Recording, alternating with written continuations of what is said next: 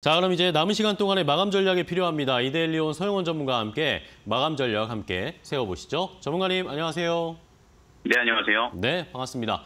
자, 오전까지만 해도 시장이 굉장히 많이 좀 흔들리는 모습이었는데 일단은 낙폭을 많이 줄였습니다. 오늘 어떻게 좀 마무리하면 좋을까요?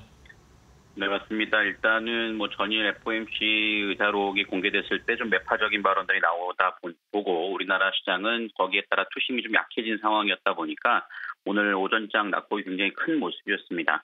하지만 이제 좀 기술적 반등 자리가 좀 나오고 있다라고 좀 판단을 할 수 있을 것 같은데요. 코스피 지수는 어, 일봉상으로 201선 자리에서 좀 지지를 해주는 모습이 나타나줬고요.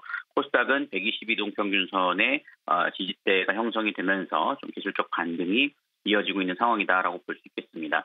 이것은 결국에는 뭐 악재적인 요인도 여전히 좀 공존은 합니다만 어, 하락 낙폭 과대에 따른 좀 저가 매수에도 어느 정도 유입이 되는 모습들이고요. 특히나 좀 대형주 쪽으로서 어, 좀 회복되는 모습들이 이어지고 있는 상황입니다. 오늘 수급들을 살펴보시면 외국인들은 일단은 현물 쪽에서의 매도폭을 좀 줄여나가는 모습이고요.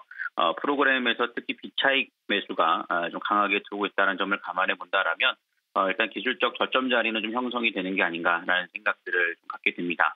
어, 그리고 업종별로 좀 확연하게 좀 나눠지는 모습들인데요. 최근에 시장이 폭락을 했을 때, 어, 좀 테마주로서 굉장히 강하게 움직였던 초전부채 관련된 종목군들은, 어, 오히려 좀 하락이 큰 상태에서 좀 변동성을 좀 보이고 있는 상황이고, 어, 추전도체 관련된 종목들이 폭락을 하니까, 어, 시소 게임 방식으로 2차전지 섹터가 좀 강세를 보이면서 시장의 낙폭을 좀 줄여나가는 모습이 나타나주고 있는 상황입니다.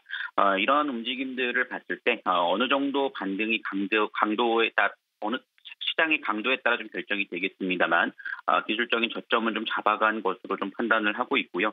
코스피 2,500선과 어, 코스닥 880선에 대한 지지대가 좀 형성이 될 수 있을 것으로 예상이 됩니다.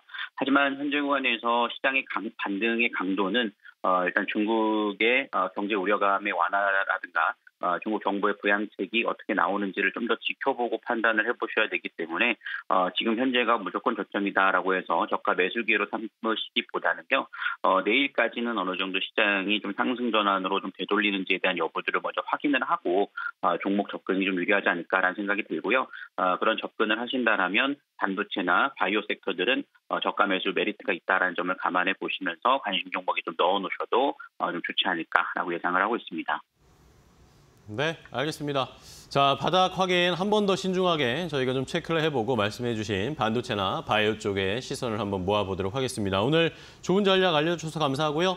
내일 또 뵙겠습니다. 고맙습니다. 네, 감사합니다. 네, 감사합니다.